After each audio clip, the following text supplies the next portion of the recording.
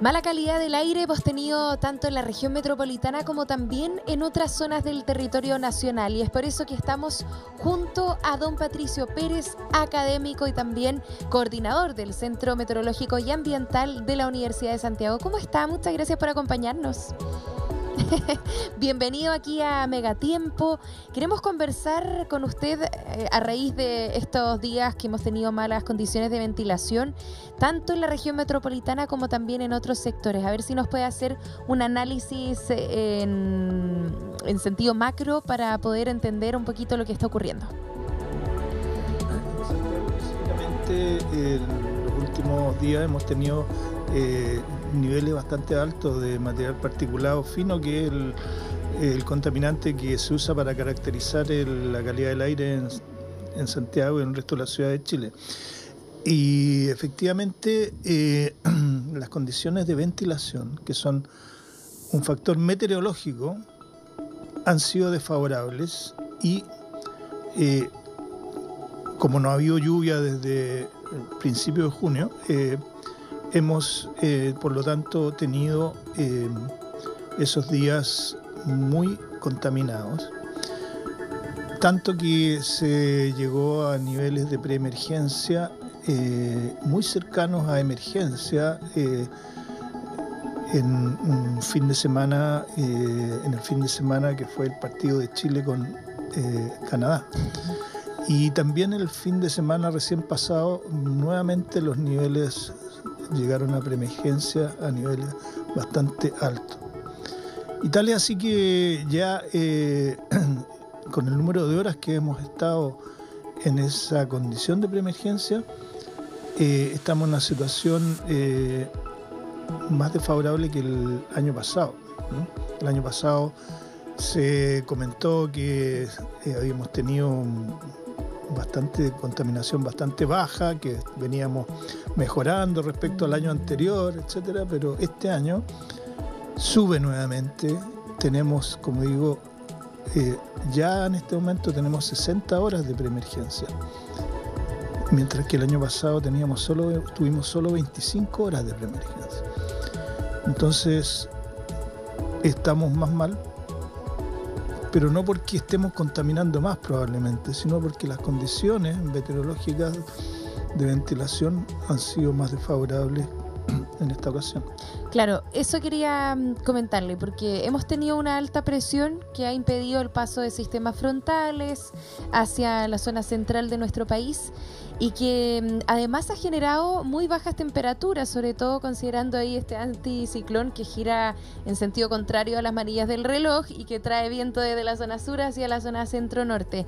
Eh, con el frío utilizamos más calefacción a leña además en distintos sectores, sobre todo ahí en la zona más austral del territorio nacional, pero em, esta ha sido la principal razón por la cual hemos tenido malas condiciones de ventilación, las condiciones eh, meteorológicas. Claro, claro, o sea, eh, una vez que terminaron las lluvias, eh, ha pasado muchos días en los cuales no hemos tenido ni una gota de lluvia y hemos tenido temperaturas mínimas bajas días, eh, mm, muchos días despejados y eh, eh, esos días con temperaturas mínimas bajas y días despejados son días típicamente desfavorables para la ventilación y por lo tanto en esos días tiende a acumularse los contaminantes que se emiten y empiezan a subir los niveles.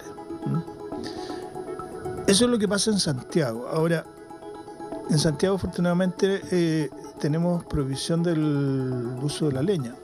Sin embargo, en el sur eh, no está prohibida la leña, se recomienda una serie de medidas para que contamine menos la leña, pero igual se usa mucho la leña. Y es tanto el uso de la leña que en realidad eh, en las ciudades del sur no es tan, tan necesario que se que, haya muy malas condiciones de ventilación, porque está la cantidad de contaminación que se emite por la leña, que aún con, condiciones de ventilación no tan desfavorables, la acumulación de contaminantes se produce igual. ¿Y qué se puede hacer? Porque sabemos que Chile es el país de Sudamérica con más muertes por contaminación, lo dijeron desde el South American Report of the Lancet Countdown, donde ellos analizan nuestro territorio nacional y dicen que 240 muertes se producen por millón de habitantes. ¿Hemos avanzado un poco en mitigar los efectos de mm, eh, estos gases de efecto invernadero, sobre todo en, en nuestro país, o qué está ocurriendo? Porque al final uno se pregunta por qué en Chile tenemos una mayor tasa de mortalidad producto de la contaminación a diferencia de otros países. Claro, o sea, la verdad es que eh, se han hecho cosas, se han implementado planes de descontaminación en las distintas ciudades más importantes de Chile, eh, pero eh, las condiciones que estamos sometidos son muy difíciles de, se puede decir, de contrarrestar, porque podemos emitir un poco menos, no podemos emitir cero, en ningún lugar no se emite nada, porque hay procesos que de por sí implican eh, combustión que genera contaminantes al ambiente. Entonces, si además las condiciones de ventilación son malas, la condición meteorológica asociada a, los lugares, eh, no, podemos hacer mucho salvo tratar de disminuir al máximo esas emisiones. Mm. Las ciudades del sur de Chile las emisiones por leña son el factor principal y eso hace que ciudades como Coyhaique sean la ciudad más contaminada de Sudamérica, incluyendo Norteamérica. Entonces, eh, mientras no em, eliminemos las emisiones por leña, vamos a seguir teniendo esas eh, emisiones que van a generar una mala calidad del aire. Considerando que además en el resto de las ciudades del Valle Central está este tema de el encajonamiento que se produce en las ciudades producto de que está encajonada por un lado por la cordillera de la costa, por otro lado la cordillera de los Andes, y estas condiciones de inversión térmica que se generan principalmente en el invierno eh, producen una especie de techo que impide que se dispersen hacia arriba los contaminantes. Claro, a ver si puede explicar eh, esas condiciones de inmersión térmica para las personas que a lo mejor nunca han escuchado ahí ese concepto y así eh, que entiendan de mejor manera de qué se trata, porque claro, en el invierno muchas veces cuesta que escapen estos contaminantes debido a, este fenómeno, pero en sus palabras, ¿cómo lo podría denominar? Claro, la, inversión térmica eh, tiene que ver con un, fenómeno, se puede decir, inusual que se produce, eh, contrario a la tendencia normal de que es que eh, a, medida que uno sube, eh, va bajando la temperatura, ¿no es cierto? O sea, a mayor altura, menor temperatura. De hecho, cuando uno va en avión, le dice la temperatura exterior es, no sé, menos 50 grados, cosas así. Claro, uno sube una montaña y eh, siente más frío que eh, obviamente en la ciudad. Eh, entonces, lo normal es que la temperatura disminuya con la altura. Sin embargo, puede darse que en ciertas ocasiones el, la temperatura en vez de disminuir a una cierta altura aumenta con respecto a las partes más bajas. Y esto se puede producir por corrientes de aire que circulan a una cierta altura, que vienen de zonas más calientes. Entonces, eh, eh, en vez de bajar la temperatura, sube. Y cuando esto ocurre, esto tiene un efecto, se puede decir, termodinámico, que se podría explicar, pero ya sería más complicado, de que eh, los eh, contaminantes que venían subiendo no pueden seguir subiendo. Mm. Los que tienden a, como a subir por, digamos, por un fenómeno de dispersión, al tocarse con esta inversión térmica quedan atrapados, o sea, es, como un techo y, se quedan atrapados de ahí hacia abajo. Entonces, eh, este fenómeno ocurre principalmente en el invierno, porque es más probable que eh, a una cierta altura uno se encuentre con corrientes de aire más caliente que provienen de otras zonas. Entonces eso hace que la temperatura eh, tenga esta, característica de, de inversión, o sea que en vez de seguir bajando a una cierta altura sube. Eh, entonces esto nos da encajonamiento por todos los lados. Por el lado por un lado este la cordillera de los Andes, por el oeste la cordillera de la costa y por arriba la inversión térmica. ¿Para dónde se van los contaminantes? No tienen para dónde irse. Claro, y este fenómeno es cada vez más común, digamos, en los meses de invierno. O sea, no es que sea más común, es común en los meses de invierno. O sea, eh, eh, no se puede decir de que vaya a ser cada vez más común. O sea, eh, en algunos años hay con más frecuencia inversiones térmicas y eso hace que ese año las condiciones mm, de ventilación sean más desfavorables. Y eso es probablemente lo que está ocurriendo este año. Hemos tenido más de esas situaciones eh, y por lo tanto este año tenemos una contaminación más alta que el año pasado. Mm. Entonces, no es que este año entonces estemos emitiendo más, sino que las condiciones de ventilación son peores. Esto podría cambiar el próximo año, podrían ser mejores y podrían bajar los niveles. Pero al año subsiguiente probablemente vuelve a empeorar y así va fluctuando, mm. va fluctuando eh, dentro de un cierto margen, ¿Y qué pasaría con la eventual instalación del fenómeno de la niña? ¿Podría también suceder que las condiciones meteorológicas no sean favorables para diluir estos contaminantes? O sea, no hay una relación, se puede decir, eh, directa. Eh, hay, eh, obviamente que cuando hay menos lluvias, uno podría pensar que tienden a, acumularse más los contaminantes. Pero em, no es necesariamente así. O sea, cuando hay poca lluvia, podrían darse condiciones de ventilación favorables. Entonces, no es que necesariamente poca lluvia signifique más contaminación. Eh, de hecho, este año en promedio hemos tenido mucha más lluvia que el año pasado y, es un año más contaminado. Claro. Eh, entonces, eh, lo importante es que en, en, las ciudades del sur de Chile poca lluvia sí significa necesariamente más contaminación porque están estas emisiones de leña continuas. Mm. Eh, entonces, eh, lo que uno puede controlar son las emisiones, no el tiempo.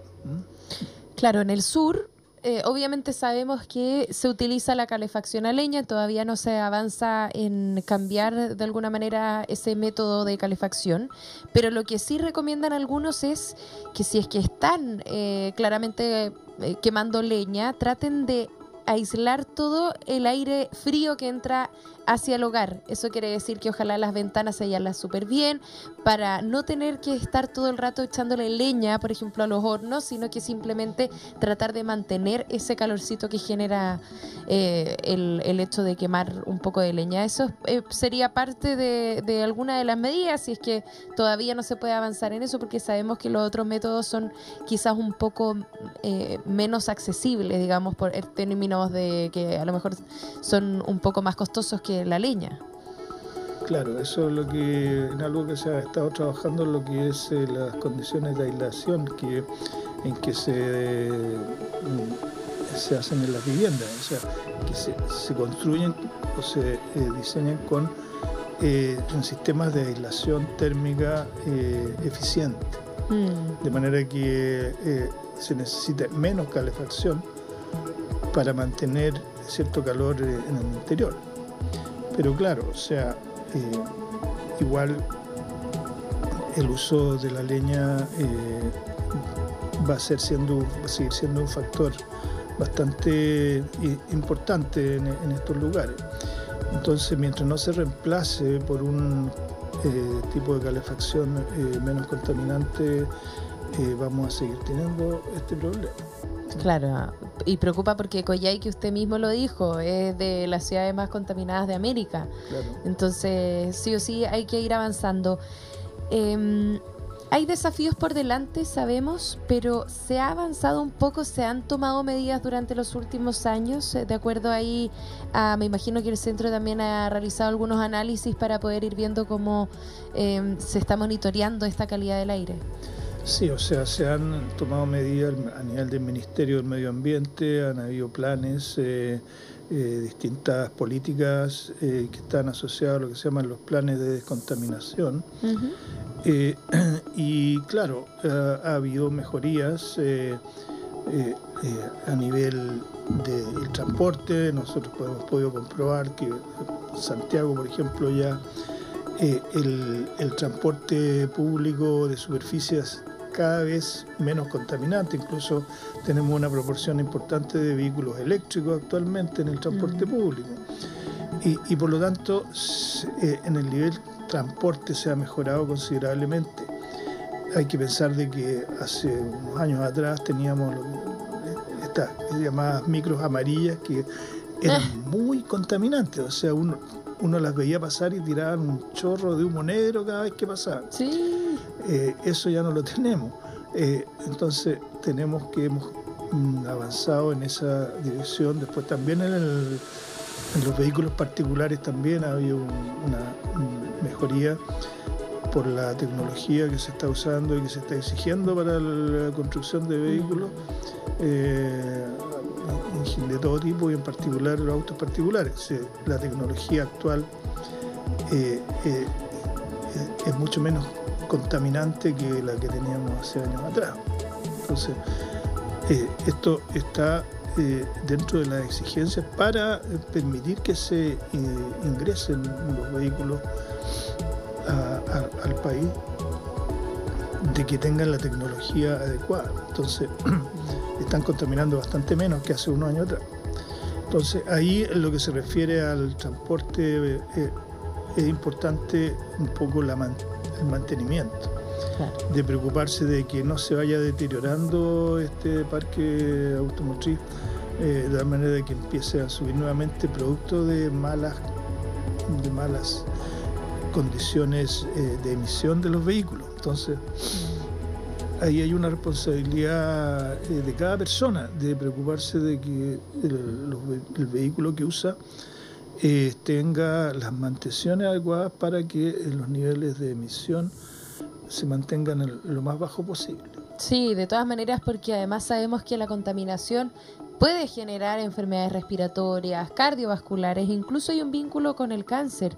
Entonces, eh, nosotros tenemos que tomar las medidas, por ejemplo, si uno va a hacer deporte o quiere hacer actividad física en el exterior, revisar la calidad del aire antes de salir. Eh, y no quiere decir que no, no, realicemos ninguna actividad física, sino que más bien eh, tomar todas las precauciones y si es que hay mala calidad del aire, poca ventilación, a lo mejor quedarse en la casa y hacer eh, en la trotadora, si tiene la posibilidad de ir a un gimnasio mejor. De repente esas pueden ser algunas de las soluciones para nosotros mismos tratar de cuidarnos. Claro, o sea que considerar que cuando la calidad del aire es mala, eh, uno al respirar, eh, parte importante de los contaminantes eh, llegan hasta los pulmones. Mm. Y ese particular, ese material contaminante que llega a los pulmones es el que tiene efectos eh, tóxicos eh, para la salud. Eh, puede generar todo tipo de, enfermedades. Entonces, esto porque está uno entregándole elementos extraños a su organismo. Mm. No es normal que lleguen partículas de carbono, de metal o de lo que sea que está en el aire que lleguen a los pulmones. O sea, no es normal eh, y, no es recomendable. Claramente. Y con el ejercicio eh, la frecuencia respiratoria aumenta y por lo tanto eh, una persona que hace ejercicio aumenta este ingreso de, mm, de, contaminación hacia sus pulmones, porque al aumentar la frecuencia respiratoria, la cantidad que ingresa a su organismo es mayor que la de una persona que no está haciendo ejercicio. Sí, de todas maneras. Ahora, la Organización Meteorológica eh, ya ha anunciado que en los distintos sectores de nuestro planeta tenemos mala calidad del aire, no solamente en el territorio nacional. Y en ese sentido, claro, uno podría decir, a lo mejor me voy a vivir a otro país y así trato de evitar eh, mantenerme expuesto a estos contaminantes, pero ya sabemos que están en todo el planeta Tierra. Em, a ver si es que usted nos puede explicar cómo se mide la calidad calidad del aire para poder entender un poquito, porque de repente, claro, se toman distintas medidas, se dice que estamos en preemergencia o en emergencia mismo, pero cómo entender un poquito la diferencia o cuando las autoridades eh, em, toman esta decisión de decretar emergencia, qué es lo que tiene que suceder, cuántos contaminantes tenemos que tener en el ambiente para poder eh, llegar de un punto a otro.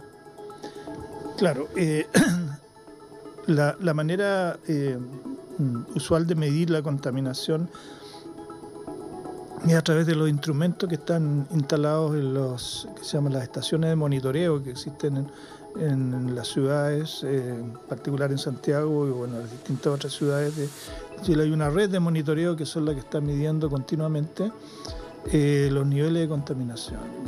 Aquí hay instrumentos que en el caso de la contaminación consisten en eh, ciertos eh, dispositivos que eh, digamos, ingresan el aire que, está en el entorno y eh, por medio de un sistema de filtros van depositando la cantidad de contaminante y dependiendo de la cantidad de contaminante que se depositan estos filtros, se hace una estimación de cuál es la concentración que hay en el, en el ambiente.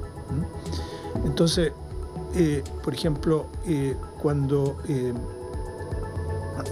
tenemos una concentración de 110 microgramos por metro cúbico en el ambiente, se dice que estamos en una condición de preemergencia.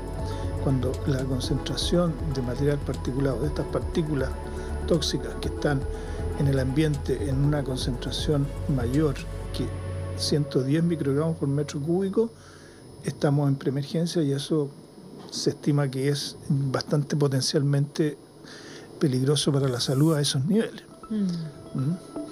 Entonces, eh, por ejemplo, eh, eh, en este día que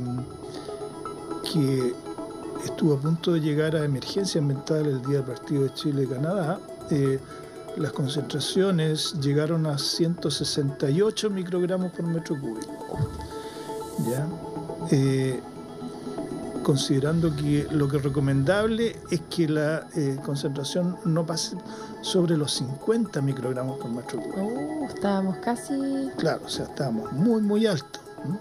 O sea, la recomendación a, nivel de Chile, por lo menos, es que eh, la concentración no supere los 50 microgramos por metro cúbico. Mm. Y cuando la supera, entramos en, factor, en en episodios de alerta, preemergencia o emergencia. A lo mejor usted nos puede explicar, porque de repente cuando estamos en esas condiciones de preemergencia o emergencia, lo que dicen no solamente es que uno no salga a correr a la calle, sino que también es mucho más complejo cuando uno va a un cerro. Y acá en Santiago estamos llenos de eh, estas cumbres que pueden estar quizás a distinta altura, pero que nos generan un daño a la salud cuando hay esta cantidad de material particulado. ¿Eso tiene alguna explicación? ¿Por qué es un poco eh, más complejo cuando uno está a mayor altura? No, todo lo contrario, o sea, a mayor altura, menor contaminación. Eh, efectivamente, eh, la contaminación eh, a nivel de la ciudad de Santiago, por ejemplo, se concentra a niveles, a, alturas bastante bajas. De hecho, de hecho las comunas más contaminadas son las comunas más bajas. ¿ya? O sea, Cerro Navia, Pudahuel, Quilicura, eh, el bosque son, están en la parte baja de la ciudad. Es hacia allá que tienden a concentrarse mayor los contaminantes.